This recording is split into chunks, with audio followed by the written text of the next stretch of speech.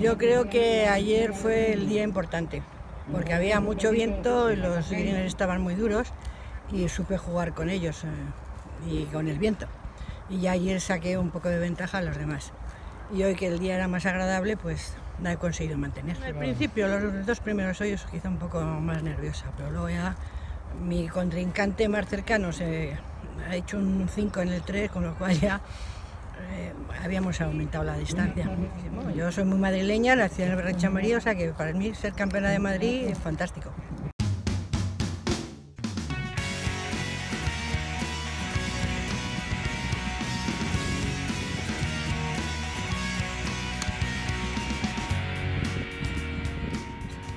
me he visto ganador en el, en el, último pad del último green, del último hoyo. ¿eh? porque no, no, la verdad es que este ha sido muy complicado.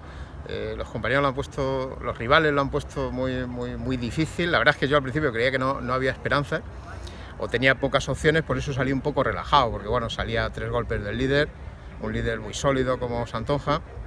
Pero bueno, he empezado a tirar bien, empezado a entrar los, los verdis, me he puesto tres abajo. En fin, me he visto con opciones y ahí lo que han venido son los nervios. Y unos nervios, los nueve últimos hoyos, nervios, nervios, nervios, nervios y nervios. Pero bueno, al final se ha controlado, algún bogey ha caído a última hora.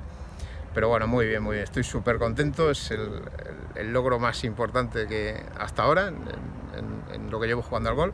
Y estoy encantado.